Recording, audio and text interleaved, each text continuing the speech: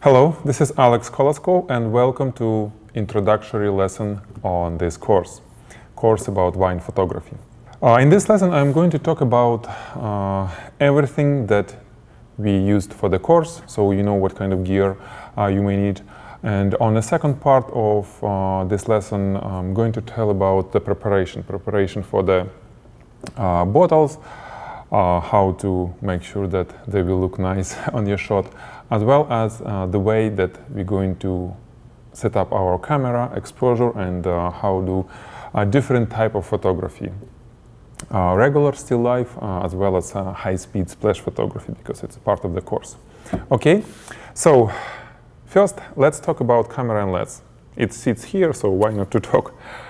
I was using this Sony a7 R2 camera. This is so far, I think it's the best uh, mirrorless camera uh, that uh, currently exists. Uh, it's 42 megapixel, full frame camera, and uh, well, it does beautiful, beautiful job in the studio. Mirrorless is small, that's why I like it. It also um, let me utilize live view really good way. What I mean by this, I always shoot with the camera connected not only to the computer using USB cable, you see this connection here, it's USB connection. I also connect HDMI out. This is HDMI out. All the camera has, even DSLRs, it's not actually not uh, the uh, only for mirrorless. But I connect the camera to a large screen, large TV that I have on a stand on the studio, a little bit on the side of the shooting area.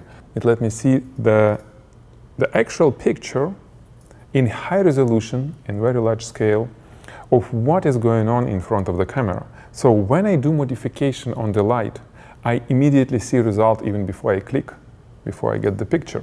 And of course, it let me uh, way easier to find uh, where I need to position the light because I can see that, you know, what happens using modeling light if I turn off uh, light in the studio so it's not really bright modeling light is a great way to see what is actually going on. And I really love shooting this way with output, the video output, live view from the camera to a large TV. So any camera will work, okay? Just telling you about why I use Sony, why I like Sony. If you don't have Sony, if you have Nikon, if you have uh, Canon, if you have Olympus, any camera, literally any camera is good. It's not about the camera, not even about the lens, it's about the lighting. Whole course is about how to highlight your subject, how to make a nice picture using the light. Because I can easily use iPhone camera to take pictures and it will be great pictures. Okay, as a proof, you can look at the course that I have uh, for iPhone photography where I was shooting wine as well, actually without studio lighting, and you can see the results. So it's not about the camera, it's not about the lens. However, the lens is a good thing to have, good lens. And the good lens for product photography is a macro lens. Like here I have this uh, Sony uh, FE full frame uh, 2.8 90 millimeters G macro lens with image stabilizer, even though image stabilizer is not uh, being used on this shot uh, because we don't need to stabilize anything, uh, any, everything is stable already. But the lens, what macro lens gives a photographer that ability to shoot relatively close. Again, for this course, you may not need to have a macro lens. But in general, if you don't have any lens or you have some some strange lens that are not going to work well, uh, maybe like a wide angle lens or like 35 millimeter lens only, and you're planning to start taking pictures of products and you're thinking about buying the lens, it's always better to go with a macro lens if you're going to buy it. Because for product photography, macro lens, it's 90% of the time being used. Being used 90% of the time. macro lens. Macro lens gives you ability to shoot really close, meaning that you can shoot jewelry, little things, uh, something that you cannot shoot with uh, normal lens without that one-to-one magnification ratio. This is what macro lens does. It has magnification ratio one-to-one. This is true macro. And if you're going to buy, better buy macro. However, if you have something like 50 millimeters, 100 millimeters, or anything in between, 150 millimeters lens, it will work well for your wine photography. Okay, you don't need to have another lens. It will work just perfectly. Anything starting from 50 millimeters and up to 200 or whatever will work well. Okay, because you will get things on a frame where it's supposed to be. That's the magnification ratio that you have. Okay, so it's not about the camera and the lens, but of course, good camera and good lens will give you better technical result, better resolution, better uh, image quality, and overall you'll be more satisfied. Okay, so that was about the camera. How I was triggering the camera using the least expensive Pocket Wizard Plus X.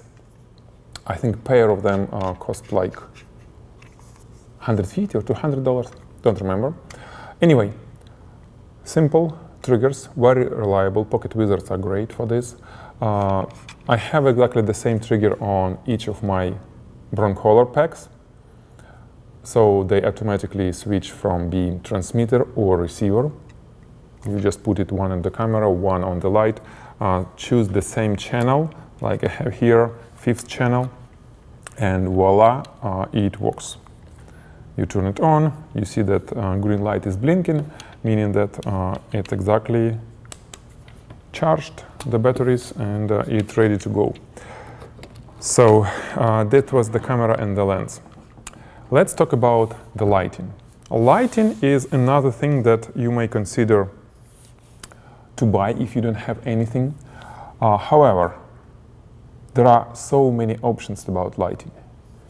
I was using a studio lighting the lighting that made for product photographer, sorry, for any photographer, uh, strobe lighting, meaning that it fires the strobe, uh, very short but very bright uh, impulse of light that also can stop action in my case.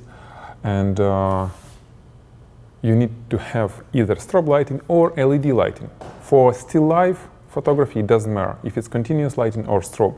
Again, if it's really new to you. If you have um, not, if you're not sure what kind of lighting to get and what the advantages, uh, I suggest you to get the course. There is level one course, uh, starting studio photography, theory, and uh, practice, and then post-production uh, that we have on Photigy. It's a great course for any product photographer to start with. If you have very little idea about your gear uh, and about, uh, in general, lighting techniques. Okay. However, let's go back to about lighting. This is Einstein, Paul C. Buff Einstein, 640 watt second light. It used to be, sorry, it used to be my favorite for many years, this lighting system, uh, Paul C. Buff, because of, especially in Einstein. I was starting from white uh, lighting and AlienBees long time ago. Love the lights. But this light, this is their first digital light, meaning that you can control the color temperature, you can control flash duration with this light, and it has enough power. And it has 640 watt second, which is a lot for this little unit. For $500, this is probably one of the best if you in North America. One of the best light to go with. It has uh, very cool uh, remote that you can control all the lights in the studio, all Einstein lights from little remote, which is a trigger itself that sits in the camera. I'd call it Cyber Commander. Beautiful stuff. $500 a piece. If you have only this, if you have only speed lights, I know many photographers, especially photographers that came coming from uh, on-field photography events, uh, you know, some strobist type of portraiture, you probably have few of those. This is $60 Chinese speedlight. And it can be used in product photography with a great success. I have a course, again, that course that I was mentioning, uh, starting product photography, in studio product photography. I was using three lights like this, with the strobe boxes like this, this is actually the different mount. Well, different. This is Bowens mount. exactly what works with this. This is $70 strip box. This is narrow strip box basically, uh, without a buffer, but well, you put the double buff if needed. I removed it for some other shot. Using only this light and only those strip boxes, you can do everything that I showed on this course. So it's all possible. It's a little bit harder because it doesn't have modeling light, but in terms of getting the picture, it's all possible. If you want to learn how to use this for product photography, uh, get the course that I mentioned. Okay, and the last option, the type of light, I would say, the LED light. Okay, this is oh, this is Godox, one of the least expensive lights that has Bowens mount, which is great. Okay, Bowens mount and it takes the same strip box and you can use it for product photography for anything that doesn't move. Of course, not for high-speed photography. Uh, what's cool about uh, lights like this, they're not expensive, uh, $250 for each unit. They work really well for video. This is what I'm using them, I mean, why I'm using them in the studio for video. So you can use uh, simultaneously uh, with the uh, video production if needed. And overall, they relatively good quality but this is the least expensive. The best way is to go with Aputure, Aputure lighting. Uh, I don't have it right now with me, but we have few in the studio. They just great build quality and overall quality lighting uh, systems uh, that are probably one of the best for the money you can buy. Okay, so about lighting, anything will work. I was using Broncolor, the most expensive studio lighting but it doesn't make any difference what kind of lighting you are using. The idea is to understand and know how to use that light. Now, with all these years of experience, I can use almost any light. I can use the tabletop lamp and make some do-it-yourself softbox for it and do the same thing that I showed you in the course with Broncolors. I can do the same with just a tabletop lamp because it's all about how to modify that light, how to draw the reflection, refraction, everything that comes from the subject to the camera, how to create it with light, that picture. And the light itself plays very little role. It's about all light modification. So let's talk about light modifiers. How we modify the light. Of course, the king for us, it's a strip box not even soft box, but a strip box, the narrow, narrow soft box. For product photography, I use 90% of the time strip boxes, only strip boxes. No square boxes, no octa, no beauty dish. It all comes great when you shoot people. But in product photography, strip box is probably the best ever light modifiers in terms of soft boxes, type of soft boxes. And of course, you will see on the course that we almost never use directly strip box to highlight the subject. We place some sort of diffuser between the strip box and the subject. This is another king for product photographer, is a diffuser. And diffuser, basically, it's a semi-transparent material that diffuses the light. I was using, I'm a big fan of do-it-yourself stuff, you know, and this one of those diffusers, do-it-myself diffusers, made from the screen metal screen frame that I buy. This is not what I made myself. But then I just cut the piece of Savage plastic and fix it on the screen frame using this white uh, gaffer tape. White because I need white reflection from it. And it works just perfectly for many, many shots in this course the beauty that it has this special grip head that connects to any stands and you can rotate, you can do whatever. Ooh, looks like it's paint coming off, which is okay. So this little grip head is what you connect to the screen frame on one side, okay, and you connect it to the stand with another side. And then voila, you can do whatever you want. This is one of the things, right? Another thing that I was using is professionally made, professionally made diffuser, this one. Uh, this is the huge one. well, you won't even see the whole thing, uh, but uh, the link is under this lesson. This is a Westcott, Westcott diffuser, big diffuser with silk. Uh, I think it's one f-stop diffuser. It's great.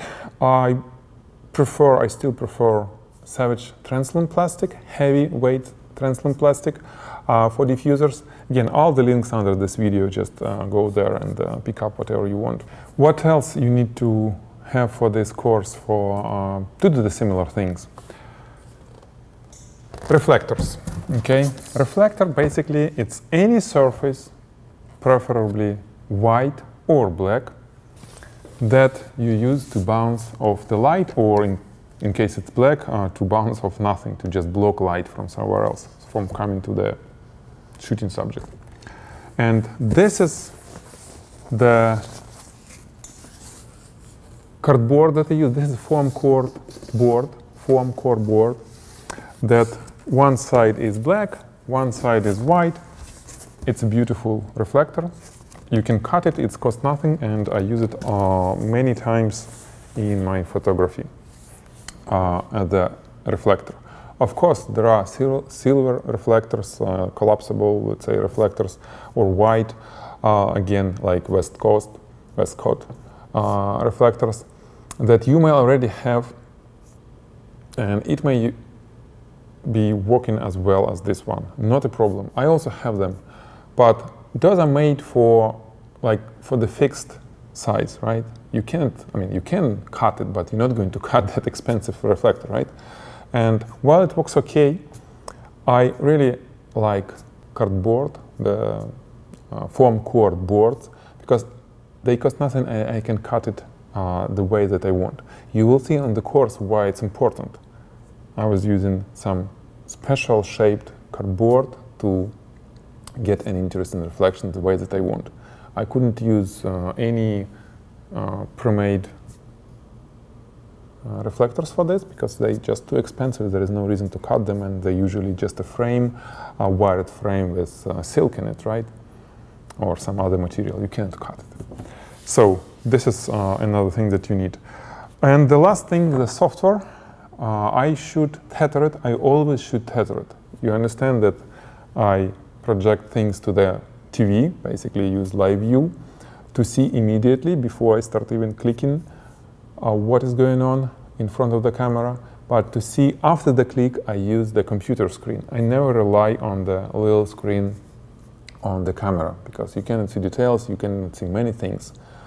And I connect the camera through USB cable to Mac in my case, and I'm using Capture One Pro.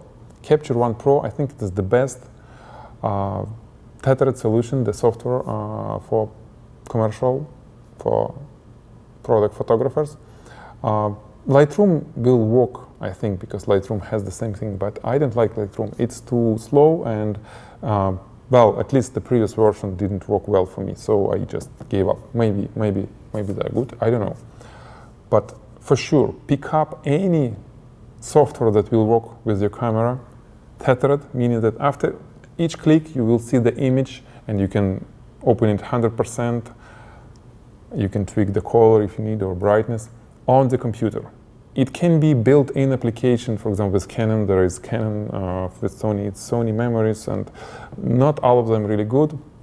Like I said, Capture One I consider the best, uh, but use anything you have and learn how to shoot tethered. It's a great way to control what is going on, what you're actually getting after every click. I think that's it for light modifiers. Now, what else you may need?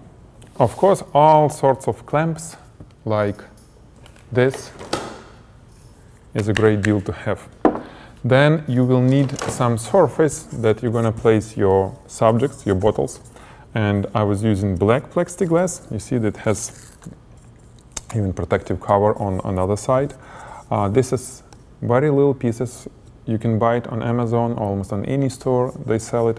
Uh, I'm buying it on a local plastic store uh, for very little. I think it's less than dollar one thing because it's like a scrap. I mean, the, uh, something that they just almost giving away. Uh, they sell black, clear, or white like this, white glossy plexiglass, good thing. And this is how we fix it on the stand using this is the female wall plate. It's called female wall plate from Avenger. There are different uh, brands probably, but the idea is these things go on top of the stand and you can put on this plate anything that you want.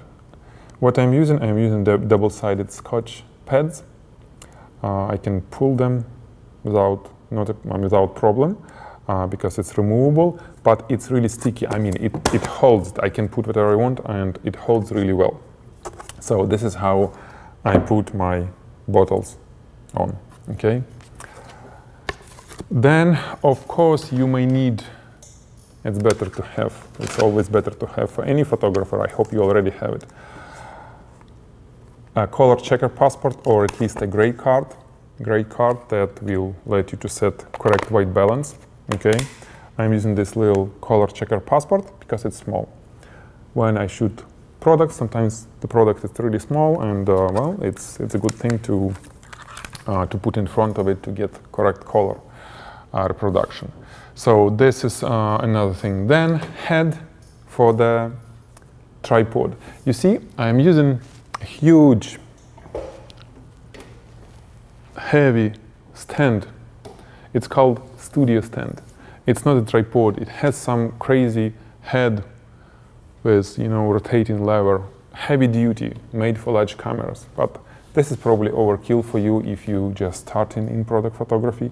What you need is to have heavyweight, better heavyweight, stand, camera, camera stand or tripod, uh, with some better to have geared head. Geared head, uh, this is what geared head is. Let me take this out. This is Manfrotto, one of the best, I think, uh, made geared heads. And what it does, it can change the rotate on each of three axes. You can rotate and it's geared. If you rotate just a little bit, it will move just a little bit. It's a beautiful thing and it has quick release which let photographer to move things fast if needed and then fine tune like this. Really cool stuff.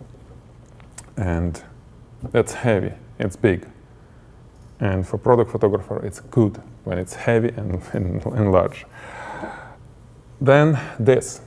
This is the Novoflex slider, the basically focusing slider uh, that can do can help you to do things like a focus stacking. You don't need this. I never use focus stacking for this course with wine.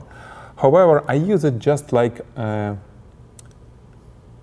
adapter for the Arca Swiss mount because this head has some proprietary Manfrotto mount which looks like this. It's huge, it's nice, but I don't need it for this little camera. On this little camera I have this little mount which is Arca Swiss.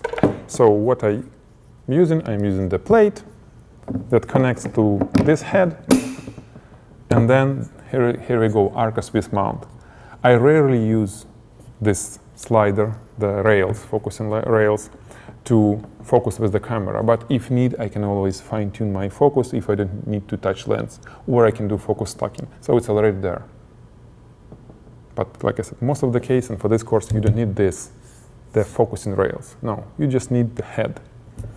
Uh, and geared head, there are different geared head. There are less expensive, like this is 405 Manfrotto, but there is a baby geared head that you may use with the same success, okay? Uh, what else? Uh, what else do you need? You may consider buying gloves. Uh, this is nitrile gloves. What's good about them is that they, they doesn't have any uh, like a special powder, you know, that makes uh, latex not, not to be sticky inside. We don't need any powder. This comes without powder. And you need to use them if you want to touch your bottle, touch your subject, the glossy subject that you cleaned before uh, during the shot. Otherwise, you may leave the fingerprints and you may not see it immediately, but in post-production you definitely will see your fingerprints on the glossy metal or glass or whatever it would be. So gloves is a cool thing to use. Okay, so uh, this is it. Uh, this is what you need in general for the course. On the second part of this lesson, uh, I'm going to talk about how we prepare the wine bottles for the shot and uh, how we set up the camera. Okay, so uh, let's uh, go to next lesson.